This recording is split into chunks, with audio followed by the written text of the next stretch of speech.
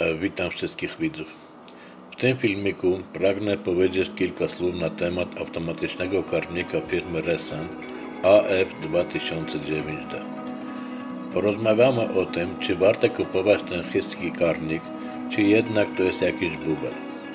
Od razu chcę podkreślić, że to nie jest reklama karmnika, tylko moja opinia jako sprzedawcy na ten temat.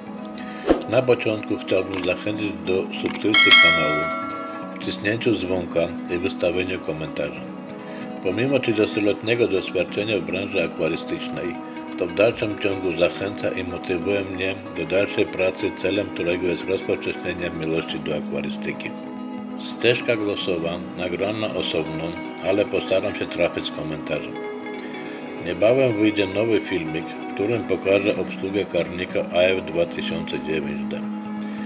Karnik zapakowany w twarde tekturowe pudełko, na którym wskazane wszystkie jego zalety. Cyfrowy wyświetlacz, możliwość zaprogramowania do czterech karmen na dobę i wymienione są najbardziej odpowiednie rodzaje pokarmów, czyli plotkowane, granulowane, chipsy i pelety. Karnik nie nadaje się na pokarmy żywe i mrożone. Jako sprzedawca mogę zapewnić jedno, że karnik firmy Resan AF2009D jest niezawodny. W ciągu paru lat sprzedaliśmy ponad kilka tysięcy tych karników i nie mieliśmy żadnej reklamacji. W komentarzach proszę napisać swoją opinię na ten temat.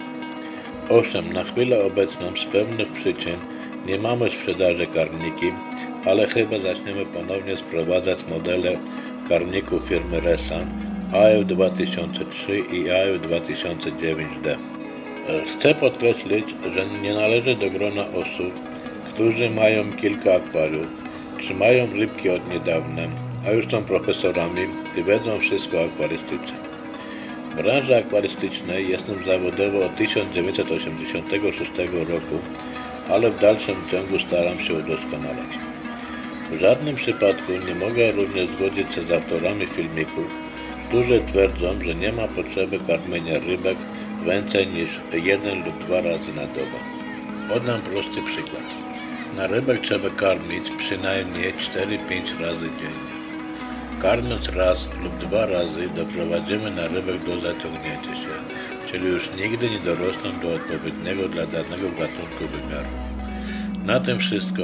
Wszystkie pytania i komentarze proszę pozostawiać pod filmikiem. Kto jeszcze nie subskrybuje kanał, to ponownie zachęcam do subskrypcji. Dziękuję bardzo. Do widzenia.